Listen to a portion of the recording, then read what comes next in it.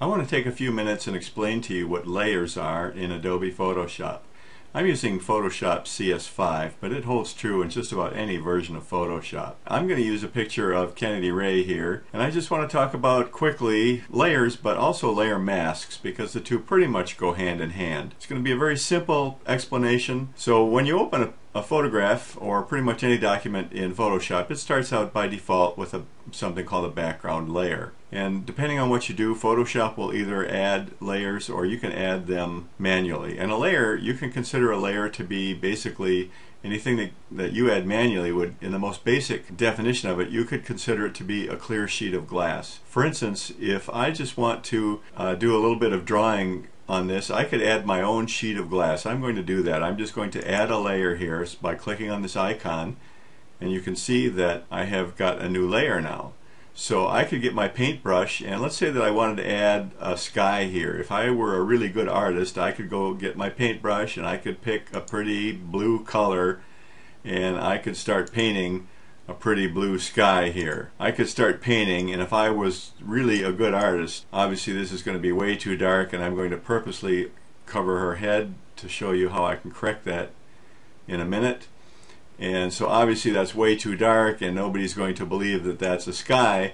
But I just want to show you that I can be painting on a clear piece of glass here and I can just take that piece of glass off merely by clicking on this little icon here, bingo. That's like slipping the piece of glass right off my original picture. So I have done some painting without damaging my original photo. And I can put the piece of glass right back on again. So that's basically how a layer works in Photoshop. It's just, uh, it gives me the capability to do stuff to my photograph without damaging the original. And then uh, some of the beauty of this is that I can modify the opacity simply by changing a slider here. I can make it 50% opaque or 20% or virtually any amount that I want and I can do other things to it. I can erase just bits and pieces of it. I can get my eraser here and I can erase parts of it and again I am erasing on my sheet of glass here. I am not erasing the girl and so I can do all sorts of things on my layer rather than on the original picture. So if I were a really good artist I could paint that in. I can go get the color white and I could use I could change my brush opacity up here and still be on my sheet of glass. And I could paint in some puffy clouds if I were good enough. And you know I could just go like crazy and do that on my sheet of glass.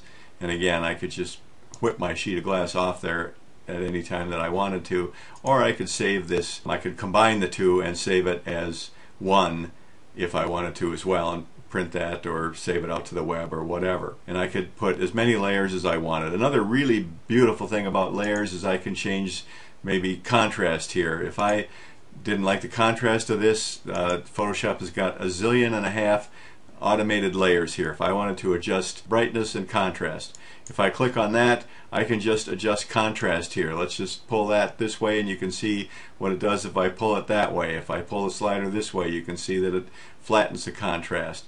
I can change the brightness of the image if I go this way. And it does that with a layer.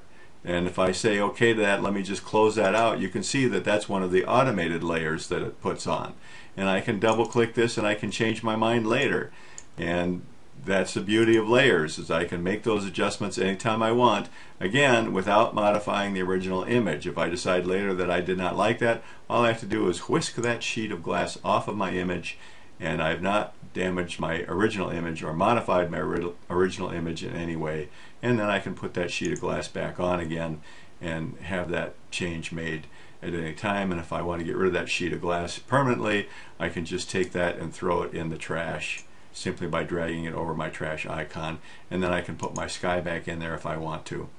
And if I decide that there is no way I am artist enough to draw the sky, another beautiful thing about layers is that I can pull in the clouds from another photograph if I want to. So let's do that. I just happen to have some clouds over here that I uh, shot another day, so I'm going to introduce a cloud photograph over here. And uh, what we can do is we can combine my cloud photograph with the picture of the girl and instead of having my blown out uh, cloudy sky I can introduce some clouds using uh, layers. So what I'm going to do is just simply drag my cloud photograph over into my girl photograph and you can see that Photoshop automatically added another layer for my clouds. And so now I've got my clouds situated right here and using something called a layer mask I can make some adjustments here. So I'm going to add a mask to that and by doing that I'm going to be able to make some adjustments to my clouds to make them look very realistic. So I click on my little layer mask icon here and that adds a mask and then all I have to do is get my little brush here and of course it's beyond the scope of this tutorial but I'm going to just quickly mask this mask these clouds in and make a sky and it's certainly a heck of a lot better than anything I could do with my paintbrush and you can see that this is just a miracle, especially for a person who has no artistic capability. Well, even if you did have artistic capability, why would you try to paint this? And look at how I can bring her head back in with a simple brush stroke. I can bring the trees back in. Or if I didn't want to introduce those trees, I just simply make a couple of mouse clicks and I just put the clouds over there if I didn't want to deal with that horizon issue. And if my cloud picture isn't big enough, I would simply just stretch my clouds Look at that. And nobody would know the difference. Now my head is wrong again, so all I have to do is bring my brush back and just brush her head back in again. It's the wrong color brush and just bring the head back in again. And that's the beauty of layers and layer masks and no damage to the original picture at all. And, and simply just brushing out the layer mask and you can see the representation of where I've brushed over here and I can change the opacity of those clouds I can dim them back and if I just decide I don't like that I just simply whisk that sheet of glass off and my original picture is back untouched, unmodified, undamaged and the original is back intact.